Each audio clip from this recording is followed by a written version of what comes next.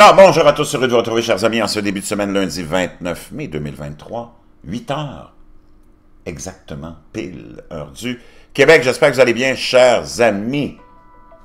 Donnez-moi un petit instant. Oui, je l'ai. Donc, chers amis, merci d'être là. Merci à ceux qui sont abonnés, ceux qui ne sont pas, faites-le maintenant. Je vais vous partager quelques messages. Merci à ceux qui m'envoient des liens, des messages. C'est toujours vraiment apprécié. Euh, qui pourraient vous intéresser des, liens qui m'ont été envoyés par des euh, abonnés que je salue.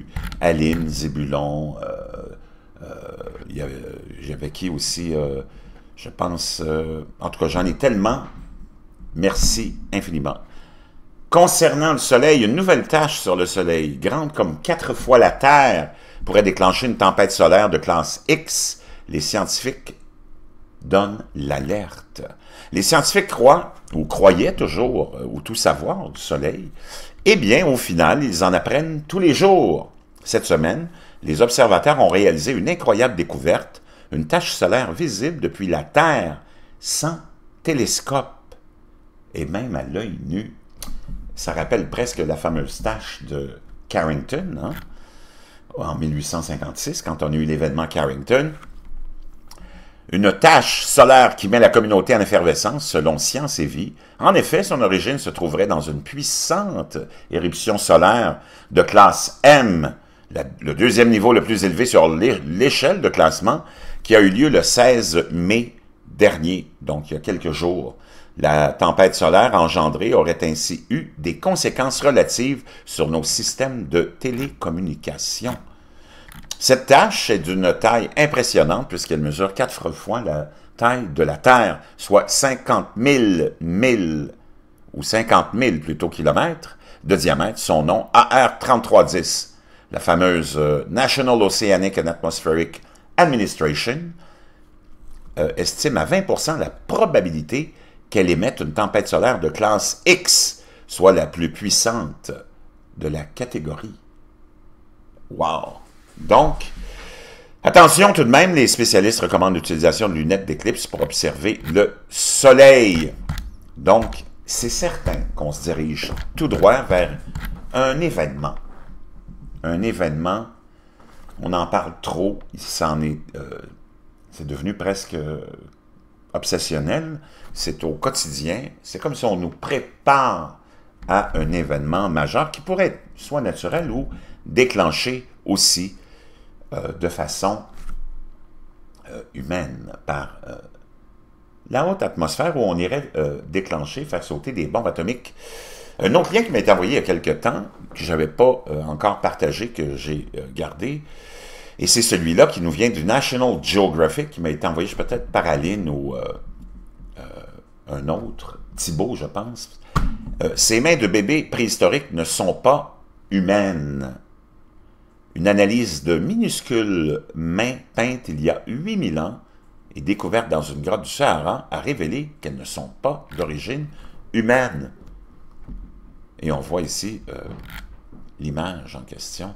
De minuscules mains qu'on croyait à l'origine être celles de très jeunes enfants et de nourrissons ont été peintes à l'intérieur euh, des parois de, la grotte Wadi Sora 2 dans le désert libique en Égypte il y a 8000 ans. Mais elle ne serait pas d'origine humaine, vraiment très étrange. Moins de vaches pour diminuer la pollution. Un rapport de la Cour des comptes échauffe les éleveurs. Donc on le voit, depuis quelque temps, il y a une attaque contre le, monde agricole euh, de l'hémisphère nord on le voit en Hollande depuis quelque temps, hein, et c'est pas fini, les révoltes là-bas. C'est pas parce qu'on n'en parle pas et on n'en parle plus dans les, dans les médias, d'ailleurs, qui n'en ont pas vraiment parlé, que l'attaque pour l'élimination de l'agriculture traditionnelle euh, se fasse et que les euh, agriculteurs euh, en réponse à ça, se révolte. C'est loin d'être fini. Un rapport de la Cour des comptes, maintenant on est rendu en France, recommande de définir une stratégie de réduction du cheptel bovin. Ben, ça a provoqué l'ire des éleveurs. Le monde français de l'élevage est sonné mardi au lendemain de la recommandation de la Cour des comptes de définir une stratégie de réduction du cheptel bovin pour diminuer l'empreinte carbone de la France, alors que le gouvernement s'efforce de ne pas braquer les agriculteurs. Wow!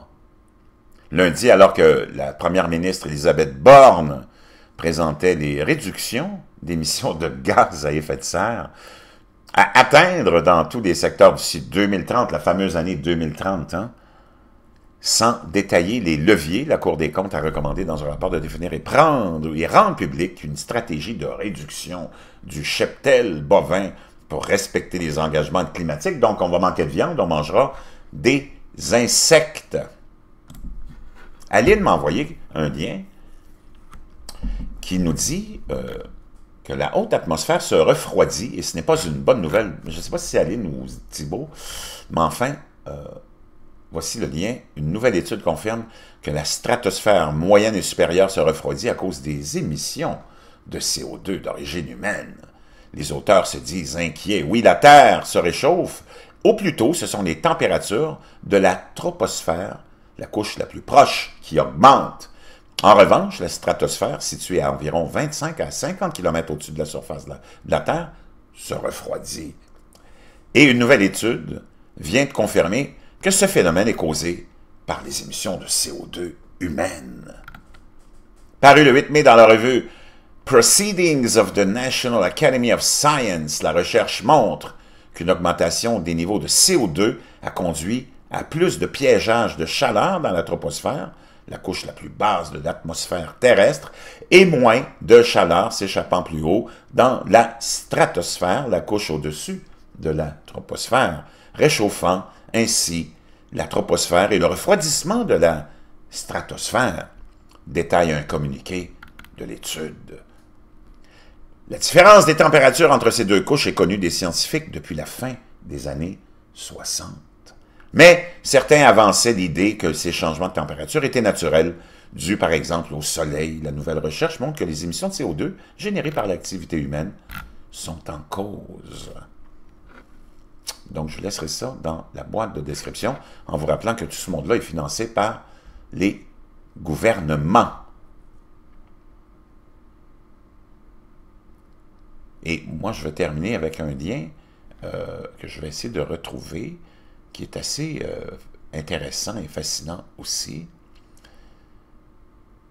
et qui, euh, si je le trouve,